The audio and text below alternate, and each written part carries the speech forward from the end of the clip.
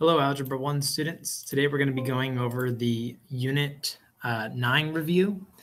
Um, so uh, if you can, before going over this video, why don't you go through the review and answer the questions that you know, and um, just watch the video for the questions that you're not sure about, and um, or to just check your answers. Um, at this point, you should have completed the rest of the packet and uh, just the review to finish. And hopefully, if you follow along and it makes sense, then the test shouldn't be too hard.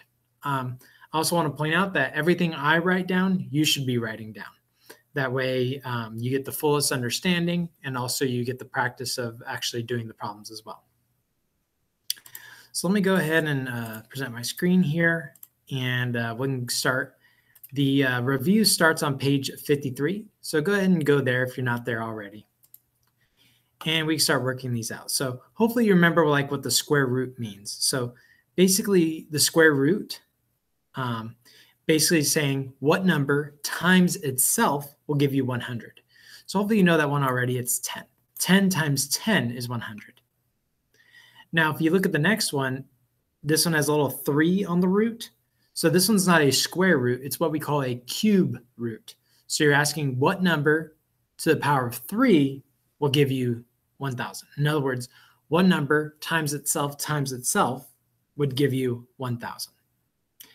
And hopefully you can find out that that's 10, right? If you did 10 times 10 times 10, well, that would give you 1000.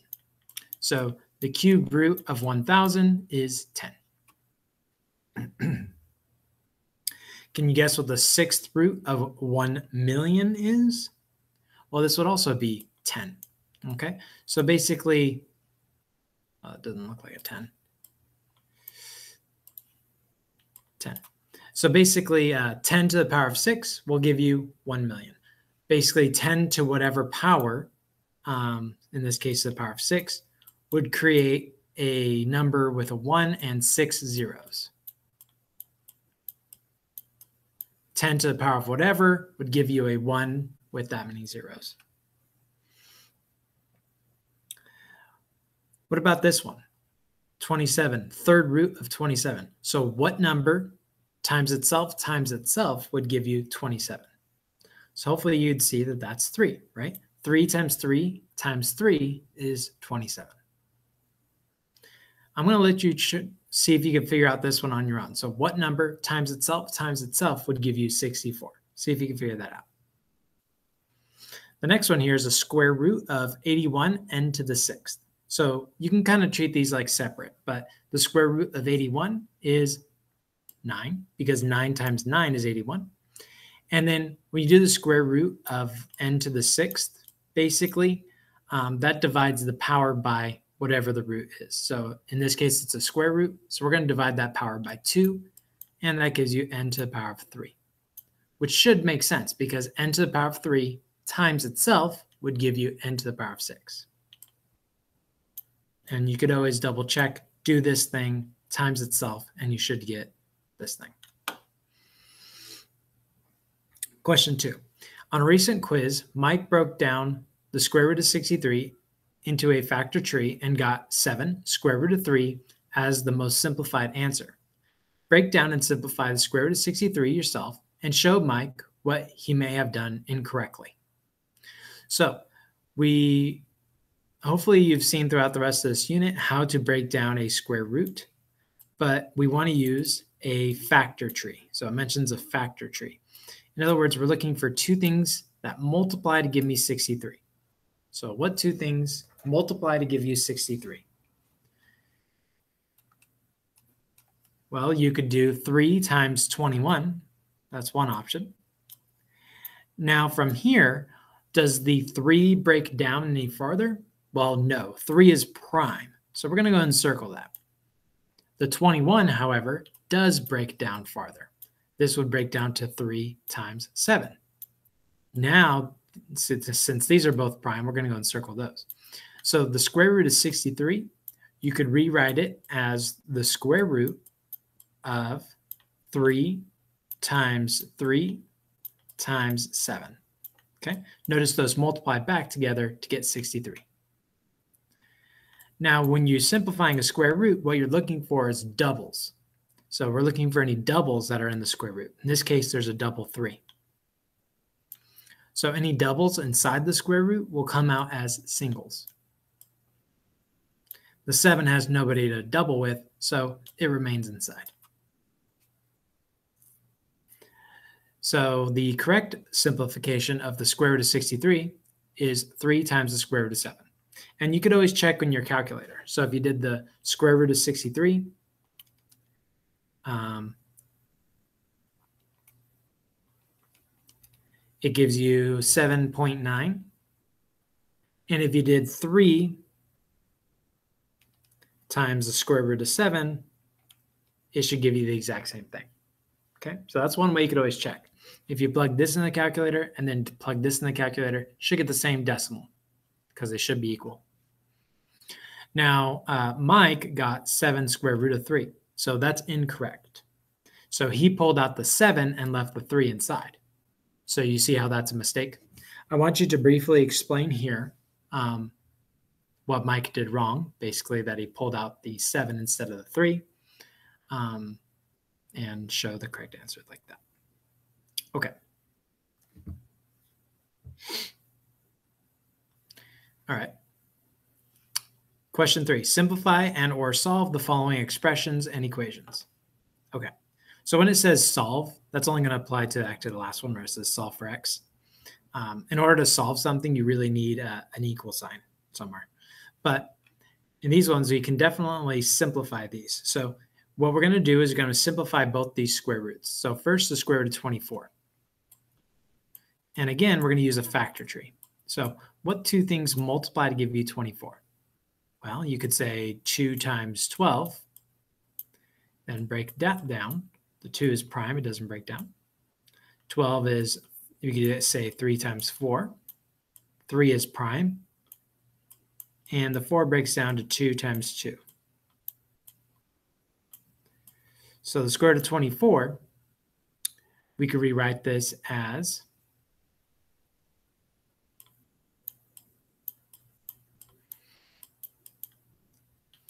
the square root of 2 times 2 times 2, three twos, and a 3.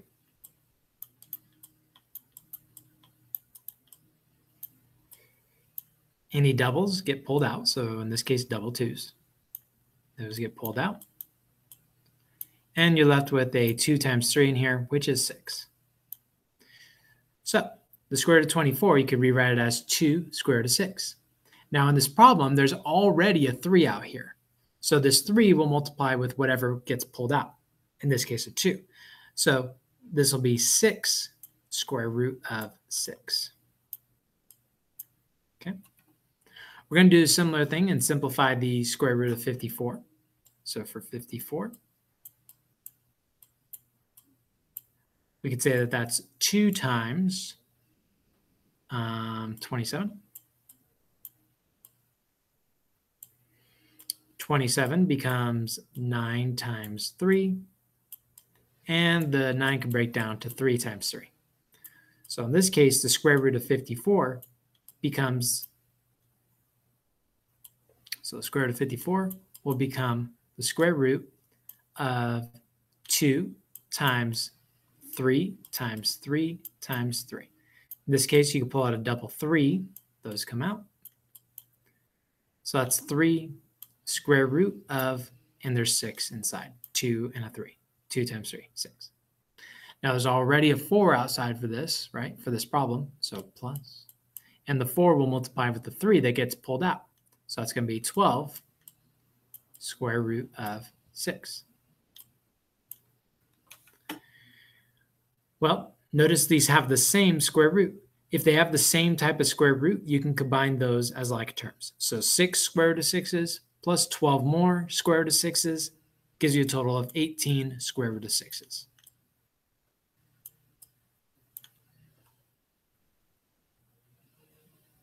Okay. For part B, we're going to have to simplify this square root, the square root of 54, which we already did that, right? It simplifies to 3 square root of 6. The 3 is going to multiply with the 5 that's already out here. So that's 15 square root of 6. Minus 2 square root of 6. Okay, they are like terms, right? They both have square root of 6, same type of square root. So you can call that 13 square root of 6.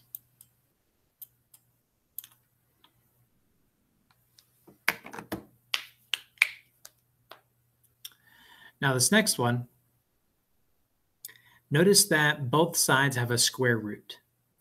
If both sides have a square root like this, what you can do, what I'd suggest doing is canceling out the square root by squaring both sides. So when you square a square root, that cancels it. Okay. But we have to square both sides of the equation because whatever we do to one side, we do on the other. Now, in this case, we want to square both sides anyway because they both have a square root. And um, so the square root with the squared cancels that. Now on the left side, this 5 also gets squared because it, it gets squared by this. So that's 25. And then for the square root of x, the square root and square cancel, leaving you with just x. 25x is what's on this side. Here, there's nothing outside the square root, so the square root and square just cancel.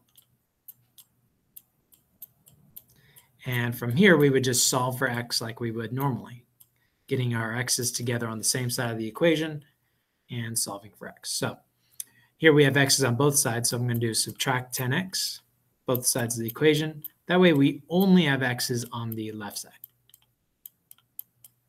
So that'll give us 15x equals 60. Divide both sides by 15 to get x by itself. x equals 60 divided by 15 is 4. And you could always check your answer by plugging it back in. These two sides of the equation should be equal when you plug that in. Number four, use the square root function on Xbox advertising from earlier in this unit, which appears in the box below, to answer the following question. So we have this function, f of x equals 27 times the square root of 5x plus 53.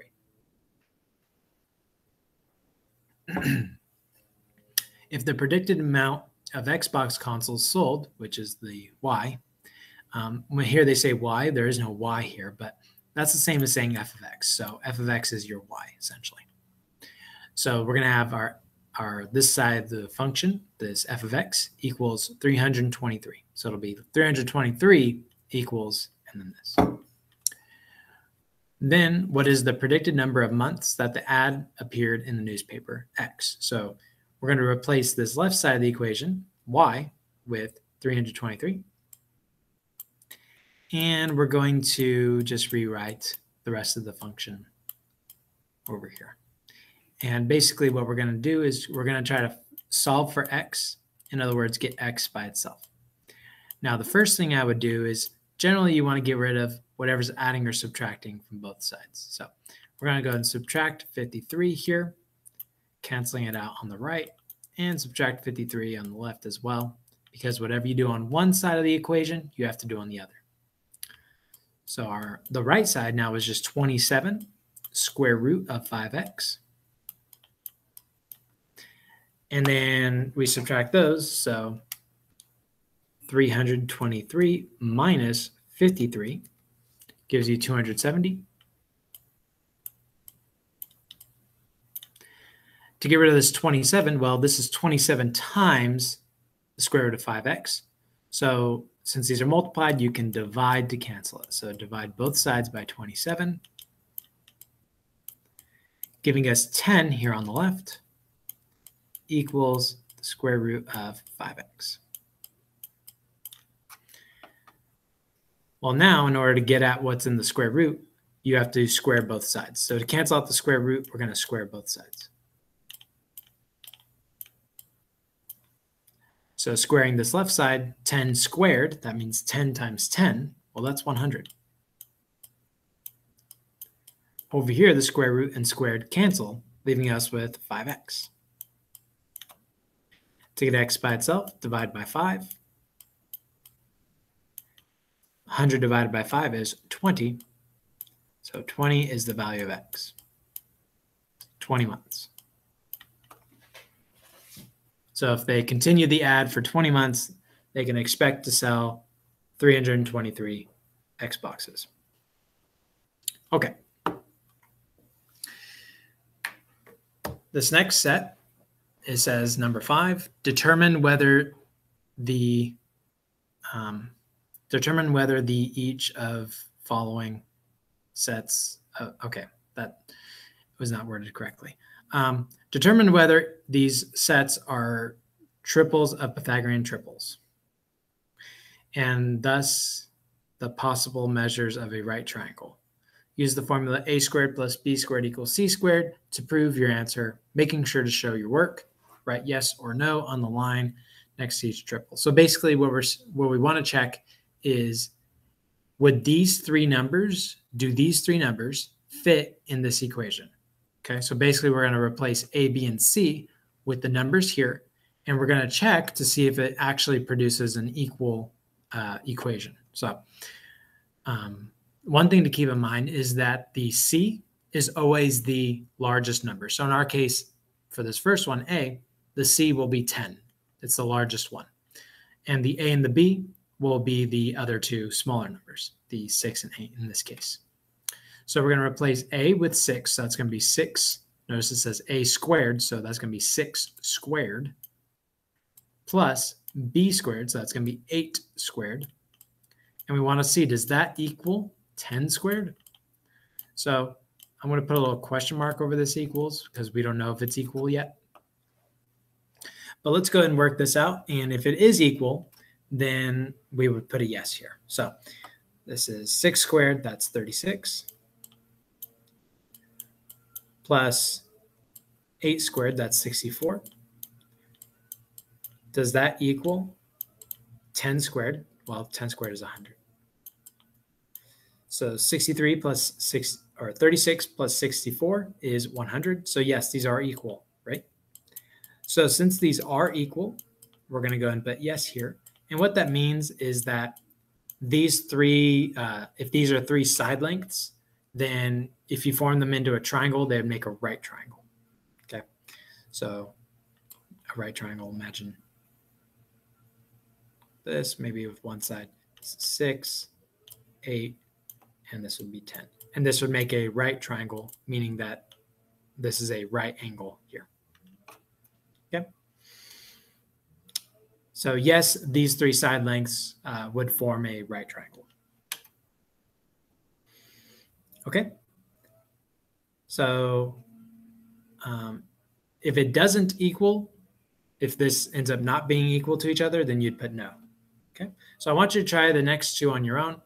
One of these will be uh, a yes, and one of these will be a no. I'm pretty sure. Let me just double check that.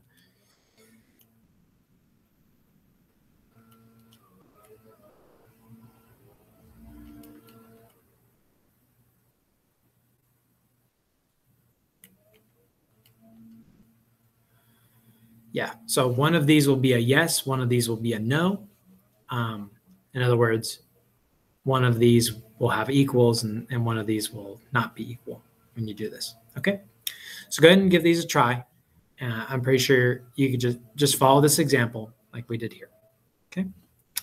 And that's the end of the review. Okay. So not a long one there, uh, but I hope it made sense. And if it did make sense, then you should be able to do pretty well on the test. Um, and um, if you have any questions, you could always uh, feel free to email me it's my email is ttrigg at ofy.org. All right. Well, with that, I will see you next time. Take care. Good luck on the test.